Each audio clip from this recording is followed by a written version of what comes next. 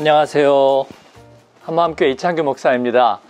아, 초신자를 위한 성경 파노라마 아, 구약편을 찍었었는데 아, 신약편을 아, 다시 예, 여러분과 나누기 위해서 어, 그동안에 예, 기다리다가 이제 드디어 기회가 되었습니다. 그래서 오늘부터 어, 초신자를 위한 성경 파노라마 아, 초성파 신약편 14편을 시작하겠습니다. 네, 여러분 아, 환영합니다. 하나님의 말씀 특히 예, 신약 성경에 나타난 아, 예수님과 그의 복음과 또 이를 따르고 사모하는 제자들과 또 교회들 그리고 오늘 우리 예, 하나님의 아, 참된 진리 말씀에 갈급하고 있는 오늘의 그리스도인들에게 신약 성경은 어, 어떻게 또 새롭게 다가올까 이 마음을 가지고 여러분과 말씀을 나누려고 합니다. 그 첫 번째 시간은 어, 당연히 복음서입니다. 예, 복음서는 어, 신약 성경 27권 중에서 어, 앞에 나오는 네 권을 예, 복음서라 그렇게 부르죠. 어, 신약 성경 27권의 순서를 아시나요? 어, 마태, 마가, 누가, 요한 복음서 4개고요. 그 다음에 사도들의 이야기, 사도행전, 로마서, 어, 고린도 전후서, 그리고 갈라디아서, 에베소서, 빌립보서, 아, 골로새서, 그리고 데살로니가 전후서, 디모데 전후서, 그리고 디도서, 아, 그리고 빌레몬서, 히브리서, 야고보서, 베드로 전후서, 요한 1, 2, 3서, 유다서, 요한계시록 27권이군요. 네. 구약 성경이 39권, 신약 성경이 27권이죠. 네. 그래서 39, 27, 66권. 네. 그 신약 성경의 27권 중에서 앞에 나오는 4권이 복음서다. 그래서 마태, 마가, 누가, 요한. 그런데 쓰여진 그 연대가 앞에 세 권은 비슷하고 그래서 바라보는 관점이 비슷해요. 그래서 공관 복음, 어, synoptics 그렇게 얘기를 하죠. 바라보는 관점이 비슷하다. 어, 예수님의 탄생으로부터 예수님의 부활, 승천 그리고 제자들에게 부탁하시는 이야기까지가 아, 갈릴리에서 예루살렘으로 에, 그런 그 약 3년여의 그 공생애를 다루고 있는 어, 예수님 이야기가 공관복음서 마태, 마가, 누가라고 얘기할 수 있고 어, 그리고 요한복음은 그세 복음서와는 어, 조금 다릅니다. 왜냐하면 조금 나중에 에, 그리스도 교회가 이제 왕성하게 퍼져나가고 있을 때에 그리고 교회에 대한 어, 세상의 위협이 있을 때에 쓰여진 것이 요한복음이거든요. 그래서 요한복음은 네, 공관복음, 마태, 마가, 누가와는 약간 달라요. 포맷이 다릅니다. 예수님이 예, 이미 부활하셨고 모든 사람에게 알려져 있는 상태에서 그 예수님이 가짜라는 여러 가지 이단의 그런 어, 위협 앞에 요한복음은 예수님이 누구신가에 집중하고 있는 거죠. 그래서 공관복음서하고는 약간 관점이 다르다. 그렇게 얘기할 수 있겠습니다. 오늘은 예, 마태복음을 여러분과 함께 어, 나누려고 생각합니다. 아, 요한계시록 4장 7절에 보면 어, 반모섬에서 사도 요한이 예수님의 제자였던 사도 요한이 어, 환상을 보잖아요. 그게 요한계시록의 이야기죠. 22장에 걸쳐서 나오는 성경의 가장 마지막 이야기. 아마겟돈 전쟁이 나오고 굉장히 스펙타클한 그런 판타지 영화 같은 그 많은 역사의 긴 시간이 압축돼서 나오는 요한 계시록의 아, 마지막은 정말 아름답고 평화로운 해피엔딩으로 끝나는데 그 요한계시록 4장에 보면 아, 하늘이 열리고 열린 하늘에서 하나님의 보좌가 나타납니다. 어린 양의 보좌가. 그리고 보좌에 앉으시가 나타나고 그 주위에 어, 네 가지의 영물이 나타나요. 생물이. 예, 그런데 그 생물들이 보좌를 둘러싸고 있는데 그 첫 번째 생물이 예, 사자입니다. 아, 잠언에 보니까 아, 사자는 뭐예요? 가장 위험 있게 걷는 짐승으로 나타나거든요. 그런데 그 사자, 아, 사자는 동물의 왕이죠. 그래서 마태우복음에게 이 사자의 별명을 붙여줬어요. 그래서 마태복음은 사자복음이라 말합니다. 예, 사자는 위험이 있는 동물의 왕. 그래서 예수님은 왕중 왕으로 오셨습니다. 아, 왕이라는 것은 지배하고 다스리고 빼앗고 그리고 그런 존재가 아니라 아, 하나님의 다스리시는 하나님의 주권 아, 그분만이 진정한 우리의 예, 왕이고 목자시다. 그런 의미에서 마태복음은 예수님을 우리의 왕으로 이스라엘의 왕일 뿐만 아니라 우리 모든 하나님의 형상으로 지음받은 모든 인생의 왕으로 오셨다. 그래서 예, 마태복음은 무슨 복음이라고요? 사자복음, 사자, 어, 사자복음. 예, 그리고 어, 마가복음은 별명이 소입니다. 요한계시록 4장 7절에 두 번째 영물은 소의 나와요. 소는 예, 순종의 예, 아이콘이죠. 그래서 예, 순종의 종으로 오신 예수님을 그리고 있는 마가복음은 소복음. 그리고 어, 세 번째는 동물이 아니라 사람 모양을 하고 있었다. 요한계시록은 그렇게 얘기하거든요. 그래서 인자, 아, 하나님의 아들, 사람의 아들, 성경에서 신비롭게 표현하고 있는 어, 예수님은 자기를 인자라고 예, 자주 표현하셨거든요. 그래서 누가복음은 어, 정말 어린 양을 찾아서 헤매이는 그리고 끝까지 포기하지 않고 찾는 그 어진 목자, 마음이 애타는 예, 목자의 이야기를 누가복음은 아름답게 그리고 있거든요. 그래서 누가복음의 별명은 인자, 인자의 복음이라고 얘기할 수 있고요. 그 다음에 마지막 생물 네 번째는 날개가 길고 손톱이 크고 그리고 잎풀이 더 큰 동물이 나타나는데 그게 뭐냐면 독수리입니다. 예, 켄터키 독수리가 아니고 아, 독수리. 예, 그래서 그 독수리를 나타내는 것이 요한복음입니다. 요한복음은 독수리는 태양을 응시하거든요. 태양을 똑바로 응시하는데 요한복음은 하나님을 응시하고 예수 그리스도가 누구신지 예, 예수님의 일곱 번에 걸친 자기 선언 에고 에이미 예, 예, 에이미는 사람 이름이 아니고 헬라어 동사죠. 그래서 나는 누구이다 라는 거예요. 나는 누구이다. 나는 세상의 빛이니 나는 선한 목자 나는 생명의 참 포도나무 그 예수님의 일곱 가지 자기 선언이 나타나 있는 그래서 요한복음은 독수리처럼 예수님을 똑바로 쳐다보고 그래서 별명이 뭐라고요? 독수리 독수리 복음이 요한복음이라고 할 수 있습니다. 자, 이 마태복음의 가장 핵심적인 그 주제들을 여러분과 함께 짧게 나눌 건데요. 첫 번째는 약속은 성취된다. 그런 것입니다. 어, 약속은 성경의 큰 주제입니다. 하나님께서는 어, 세상을 창조하셨어요.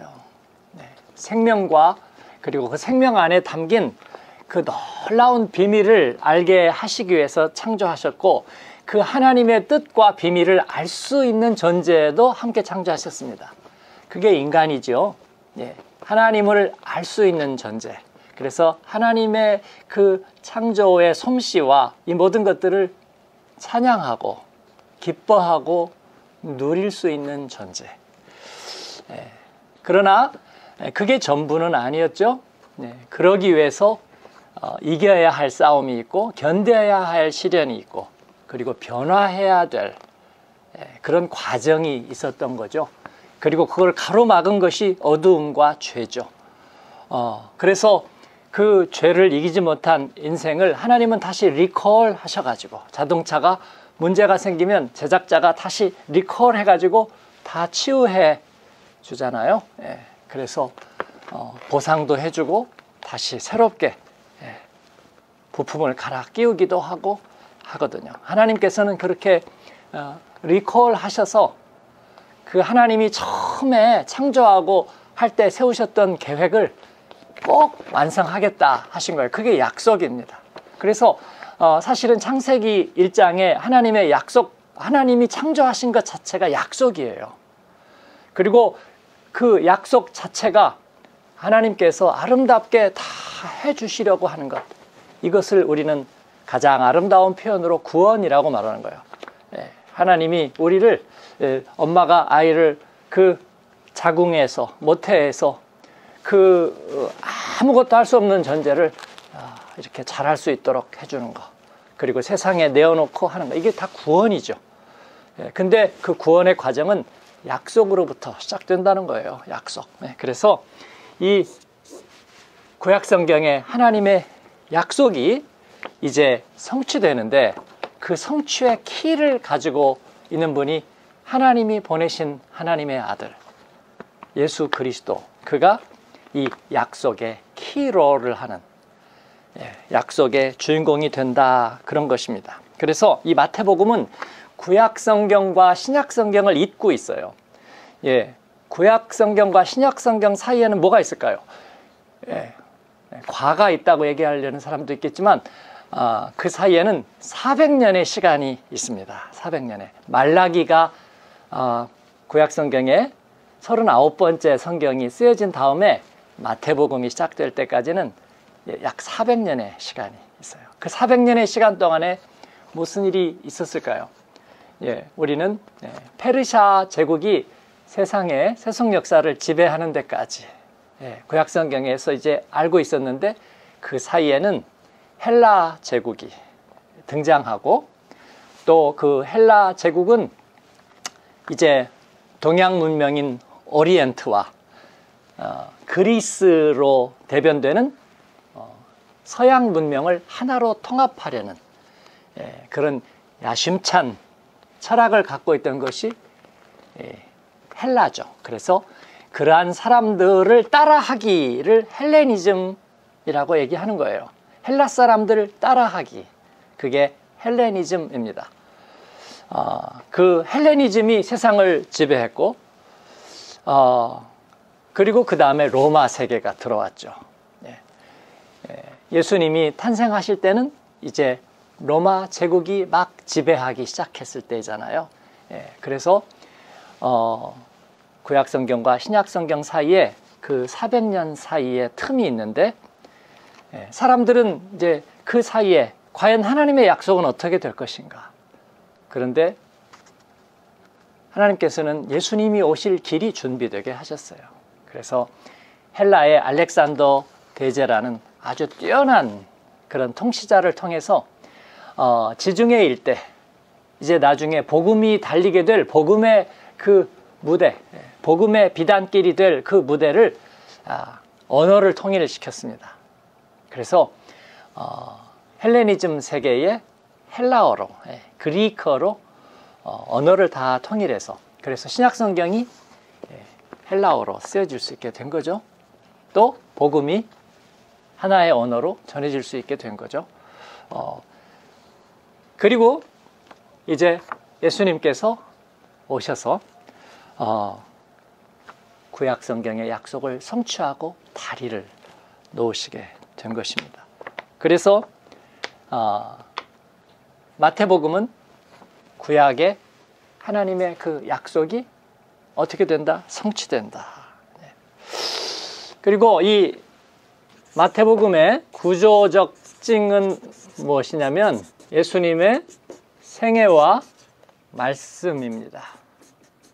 아, 자수에 보면 어, 이렇게 시줄과 날줄로 자수를 아름답게 표현해 가잖아요. 네, 그래서 이 마태복음에도 어, 이 아름다운 자수가 놓여지는데 약속의 성취라는 그 큰 주제가 놓여지는데 그 기교 방식은 뭐냐면 시줄과 날줄이에요. 자수의 시줄과 날줄. 그래서 어, 시줄은 뭐냐면 예수님의 생애입니다. 아, 그가 어떻게 예, 베들레헴의 별을 보고 따라온 동방 박사들에게 영접을 받으며 베들렘에서 태어나시고 그리고 헤로드 왕의 박해를 피해서 이집트로 피난을 갔다가 다시 돌아와서 갈릴리에서 성장하고 그리고 복음의 사역을 출발하시는지 그리고 어떻게 예루살렘을 향해서 십자가의 길 비아 돌로로사를 가시는지 그 어, 가슴 벅찬 생애의 그 이야기가 아, 쭉 펼쳐지고 있고 그리고 그와 병행해서 예수님에게서 빼놓을 수 없는 위대한 말씀 네, 예수님의 위대한 말씀이 거기에 날줄로 그때마다 이렇게 겹쳐지고 있다는 것이죠. 네, 그래서 여러분이 마태복음을 보실 때에 아, 하나님의 그 약속이 성취된다. 그, 그 주제를 마음에 담고 에, 보시면 좋겠어요. 예수님의 핵심적인 말씀에 대해서도 우리가 아, 정말 너무나 아름다운 말씀들이 마태복음에는 많아요. 그 정말 위대한 말씀들, 살아있는 말씀들이. 예, 그 중에 여러분이 생각나시는 건 뭘까요? 어, 마태복음에는 다섯 종류의 위대한 말씀들이 나오거든요. 그 중에 예, 제일 많은 사람들에게 알려져 있고 마태복음이 자랑하는 가장 아름다운 말씀은 뭘까요? 예, 뭐니 뭐니 해도 아, 돈이 아니고요. 예, 산상수훈입니다. 산 위에서 하신 말씀 산상수훈. 누가복음에 가면 배 위에서 하신 말씀은 선상수훈. 예, 산상수훈은 마태복음 5장부터 7장까지 나오는 정말 주옥과 같은 말씀이에요. 어, 그 자체로 시 같기도 하면서 그러나 그 가운데는 놀라운 하나님 나라의 하나님이 우리의 왕이 되시고 다스리실 때 어떤 일이 일어나는가 하는 그런 라이프 스타일과 그리고 그 결과가 어떻게 일어나는가 하는 것들을 나타내주는 정말 중요한 말씀이 이 산상수훈 예, 산 위에서 말씀하신 하나님 나라의 진실, 하나님 나라의 라이프 스타일, 하나님 나라의 좋은 이야기, 좋은 소식. 그게 마태복음 몇 장에서 몇 장? 5장에서 7장까지 나오는 예, 바로 산상복음이죠. 그 중에서 5장 3절에서 10절에 보면 정말 아름다운 말씀이 나오죠. 그게 뭘까요? 예, 팔복, 여덟 가지 복에 대해서 어, 말씀하고 있죠. 심령이 가난한 자는 복이 있나니 천국이 그들의 것이며 어, 그리고 애통하는 자는 복이 있나니 그들이 위로를 받을 것이며 온유한 자는 복이 있나니 그들이 예, 땅을 기업으로 받을 것이며 예, 의에 줄이고 목마른 자는 복이 있나니 그들이 배부를 것이며 긍휼히 여기는 자는 복이 있나니 그들이 긍휼히 여김을 받을 것이며 마음이 청결한 자는 복이 있나니 그들이 하나님을 볼 것이며 예, 화평케 하는 자는 복이 있나니 그들이 하나님의 아들이라 일컬음을 받을 것이며 의를 위하여 핍박을 잡는 자는 복이 있나니 천국이 그들의 것임이라. 예수님께서는 어, 이를 얘기하고 계세요.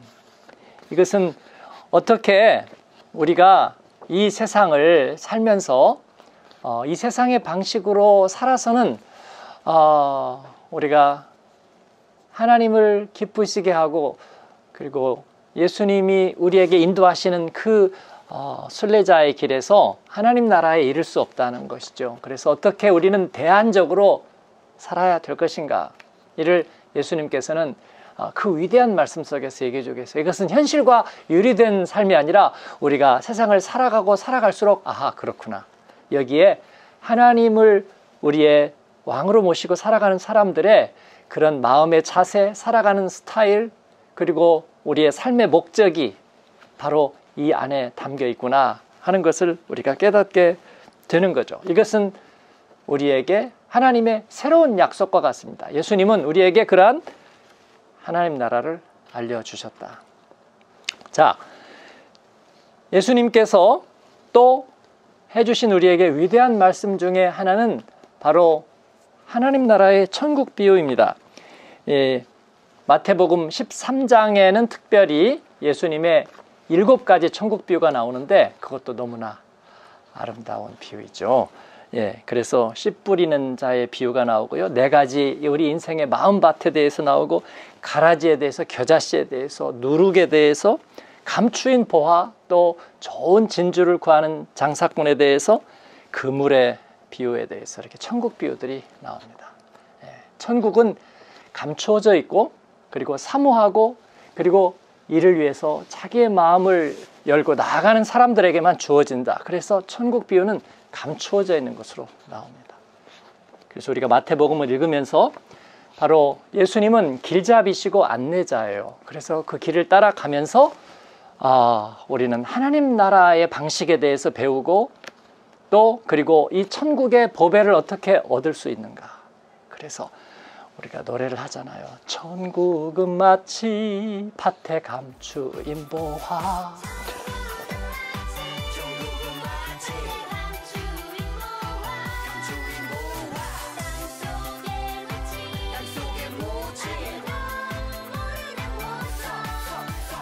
그리고 이 밭에 감추인 보배를 보배를 발견한 사람은 가가지고 논 팔고 집 팔고 냉장고 팔아.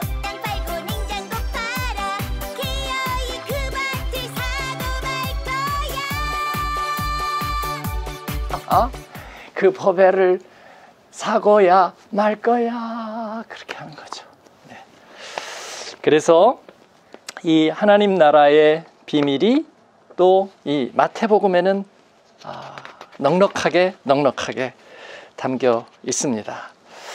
아, 이 천국의 이야기는 아, 구약 성경의 하나님의 약속이 예, 완성이 되는 것을 구슬프게 아니면은 너무나 고통스럽게 이루어지는 것이 아니라 너무 기쁘고 아름답게 예, 그렇게 이루어진다는 걸 알려주고 있어요. 마치 좋은 진주를 구하는 장사꾼이 진짜 좋은 진주를 발견하니까 모든 것을 팔아서 그걸 사는데 하나도 아깝지가 않은. 그리고 그 마지막은 너무나 허전하고 슬픈 게 아니라 마치 신랑과 신부가 결혼하면서 마지막 날에 축제를 벌이는 그 클라이막스와 피날레가 엄청나게 영광스러운 것처럼 그와 같은 거라고 얘기하고 계십니다. 그래서 예수님의 생애와 위대한 말씀이 만나서 바로 모든 인류를 향한 좋은 소식, 복음의 이야기를 이루는 것이죠. 이 복음의 이야기는 다섯 단계로 이 복음서에서 얘기가 되고 있습니다. 첫 번째는 바로 예수님 자신입니다. 하나님께 전권을 위임받고 이 세상에 오신 예수님 자신이 복음의 시작이고 그리고 예수님이 오셔서 행하시고 하신 말씀이 복음의 두 번째입니다. 그래서 그 예수님이 행하신 일은 뭐냐면 바로 잃어버린 하나님의 사람들을 찾아서 그들을 치유하고 그들의 죄를 없애 주시는 거예요. 예, 그래서 예수님이 하신 일은 치유하고 회복시켜 주시는 것입니다. 죄를 사하고 눈을 뜨고 병을 낫게 해서 회복을 시켜주시고 그러고 나니까 예 너무나 좋아하잖아요. 와 이리 좋노, 와 이리 좋노. 그래서 잔치가 이루어지고요. 그리고 회복이 되니까 또 뭐가 돼요? 누가복음 15장에 보니까 아들이 돌아와서 회복이 되니까 송아지를 잡고 잔치를 벌이고 그리고 나서 신분이 회복이 되니까 상속자가 되는 거예요. 너를 이제는 종이라 하지 않고 내 친구라 하고 그리고 내 아들이라 하리라. 그래서 상속자가 되는 것입니다. 네. 이것이 예, 복음의 두 번째. 예수님이 오셨고 그리고 예수님이 치유하고 말씀하시면서 회복하신다. 그리고 그 세 번째 복음은 그런데 그 예수님이 그렇게 치유와 회복을 하시는데 죄에 빠진 인간에게 뭔가가 필요합니다. 뭔가가 필요해요. 그래서 예수님이 대가를 지불하시고 자기가 직접 백신이 되시는 그게 십자가의 죽으심. 값을 치르시고 우리에게 진정한 생명이 되시는 그게 예수님의 십자가 죽으심. 그게 복음의 세 번째 이야기. 그래서 복음서에는 다 예수님의 십자가 죽으심이 나와 있고 이거 빼고 할 수는 없나요? 베드로가 얘기했다가 사탄아 올라가라 얘기하시는 거죠. 예, 예수님의 십자가가 없이 우리는 하나님의 자녀로 회복되지 못하는 거죠. 네 번째는 그 백신이 완성되는 거죠. 네, 부활입니다. 죄는 떠나가고 그리고 하나님의 생명이 왕노릇하는 네, 그래서 네 번째가 복음의 네 번째가 부활이요. 그리고 다섯 번째는 뭐냐면 그 생명을 나르는 거죠. 가서 전하라. 증인이 되라. 천하만국에 바로 이 복음으로 가서 제자를 삼아라. 예수님께서는 부탁하셨어요. 백신을 만들었으니까 날려야 될 거 아닙니까? 그렇죠. 네. 적혈구가 산소를 가지고 모세혈관까지 날라와서 생명을 심어야 되지 않겠어요? 그래서 가서 전하라. 뭐 예수님께서 부탁하신 게 복음의 몇 번째? 다섯 번째 단계인 거예요. 예수님이 하나님의 전권을 가지고 오셨고 그리고 오셔서 치유와 회복으로 말씀하시고 직접 행하시고 그리고 자기가 그 구원의 생명이 되도록 백신이 되신 십자가에서 죽으시고 그 구원을 완성하신 백신이 되신 예수님의 부활과 그리고 이것을 가서 전하고 나르는 제자들의 선포와 전도 이게 복음의 다섯 단계로 이루어져 있습니다. 이제 로마서 이후에 가면 이 복음의 다섯 단계가 어떻게 우리 안에서 작용하는지에 그 복음의 DNA를 우리에게 얘기해 주고 있는 거죠. 오늘 짧지만 마태복음을 예, 이렇게 정리를 해 보았습니다. 구약의 약속이 성취되고 23번이나 구약 성경의 약속이 어떻게 이 예수님 에게서 성취되는지를 마태복음은 23번이나 얘기하고 구약의 선지자들을 통해서 말씀하신 것을 이루심이라 하는 표현도 11번이나 나오고 있습니다. 그리고 그 제자들은 예수님의 복음을 따라서 걷다가 그 위대하고 아름다운 말씀을 품고 백신인 되신 예수님을 가슴에 품고 우리가 가장 아름다운 28장 19절 20절에 있는 말씀처럼 그러므로 너희는 가서 모든 민족으로 제자를 삼아 아버지와 아들과 성령의 이름으로 세례를 베풀고 내가 너에게 분바 모든 것을 가르쳐 지키게 하라. 볼지어다 내가 세상 끝날까지 너희와 항상 함께 있으리라 하시니라. 이 말씀을 가슴에 품고 그들은 예수님의 그 루트를 따라서 땅끝을 향해서 지중해를 동편으로 돌아 동편제. 서편으로 돌아 서편제 그리고 땅끝을 향해서 가게 되는 것이에요. 여러분 그 나라가 이 땅에 임할 때까지 이 마태복음과 함께 여러분 행복한 믿음의 삶을 누리시기를 바랍니다. 고맙습니다.